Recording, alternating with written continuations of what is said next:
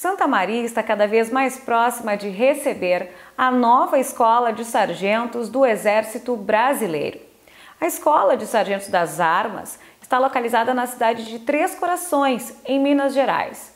No entanto, a proposta do Exército é construir uma nova escola, unificando a formação destes profissionais em um único local. Nosso município pode fazer parte desta ideia. Conversamos com o General Hertz, comandante da terceira DE, que destacou os principais pontos que colocam a nossa cidade nesse páreo. Como responsável técnico por apresentar Santa Maria, eu entendo que a formação do, do nosso sargento vai estar num polo onde se pensa uma das, um dos apanágios da, da, da, das Forças Armadas, que é a defesa da pátria.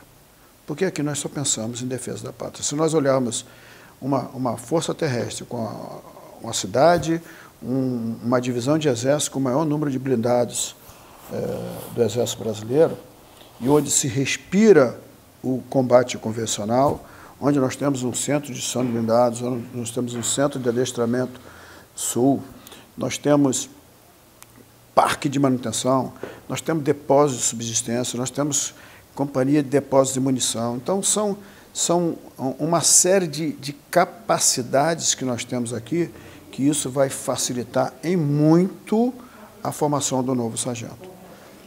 Eu tenho dito que Santa Maria é uma guarnição pronta para receber a escola. Eu não estou entrando em detalhes se é a ideal no momento, mas é a guarnição pronta, porque isso vai reduzir em muito o custo da instalação da nova escola. Por quê? Porque já está tudo aqui. Basta construir a nova instalação e realizar adaptações no, no sistema de, de, adestramento, de planejamento do ano letivo, do ano de instrução. É uma questão de acordo que vai ter que ser feito.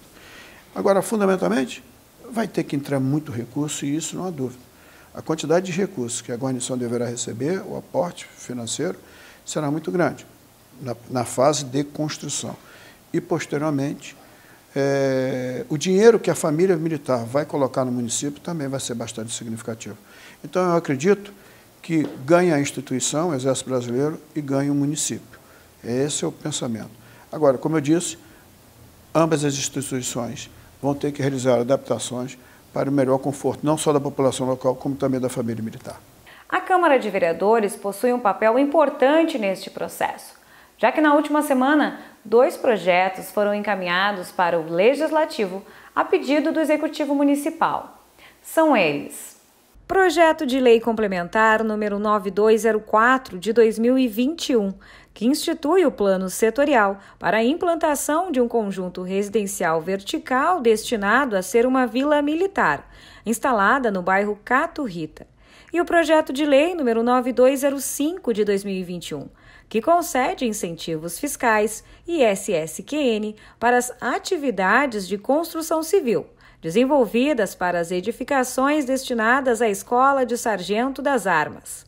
Conversamos com o chefe da Casa Legislativa, vereador Coronel Vargas, que trouxe mais informações sobre como estão tramitando os projetos.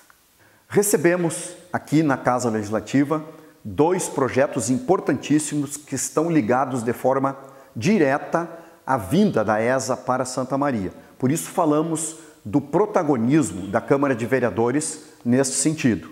São dois projetos que irão auxiliar de forma direta a construção, a questão de edificação da escola e também da construção das residências destes uh, militares que deverão estar em Santa Maria durante o período escolar.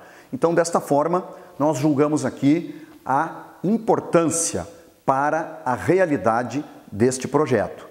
Estamos fazendo aqui o encaminhamento para o líder do governo para que tenha algumas correções que deverão serem feitas para que nós uh, possamos colocar ele em pauta de forma imediata, para nós darmos a total celeridade neste processo. Segundo o general Hertz, a decisão deve ser divulgada ainda na metade deste ano de 2021. E as principais informações você continua acompanhando aqui na TV Câmara. TV Câmara, a tela da cidadania.